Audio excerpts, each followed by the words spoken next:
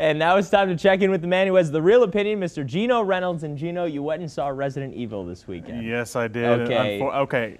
Before everyone says, Doesn't sound "Oh, like you, you, you didn't give it a chance," I went and seen it twice because I wanted to just I wanted to figure out was it really as bad. I walked out the second time when the Wow. about a half hour left. If this movie got rid of all the slow mo, it would have been Mm-hmm. about 35 minutes long. it, it was so slow. The pacing was so bad. The acting was horrific.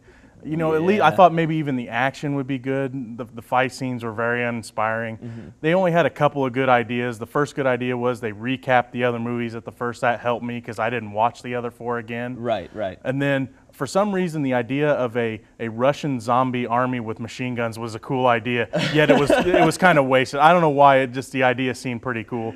Maybe because of the movie pretty out Outpost. The movie Right, Outpost had right. the had the uh, Nazi zombie army. Maybe it was a play on that. The movie it had nothing going for it. It, it used a lot of the same ideas that Mm-hmm. the other, especially from the first movie. I felt like I was watching the first movie again, just not as good.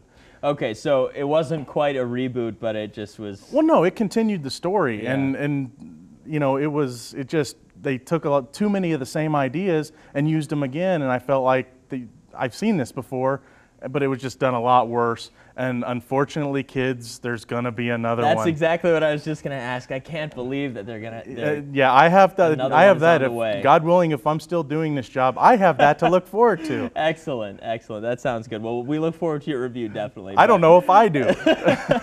All right, let's switch gears to uh, your your contest that's still going Yeah, on. we, Tell we us a little have. I have it. plenty of pitch perfect tickets left. I'm giving away five a day through this Thursday.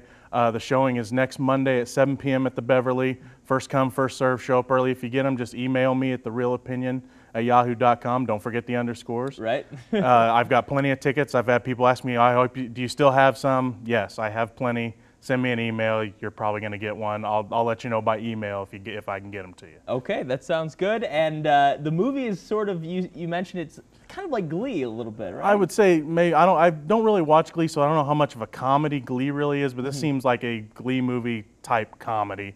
I thought the trailer looked funny. I'm actually kind of looking forward to seeing it. All right. Well, we look forward to your review too. All right. thank All you. right. Thanks a lot for being here. We'll be right back.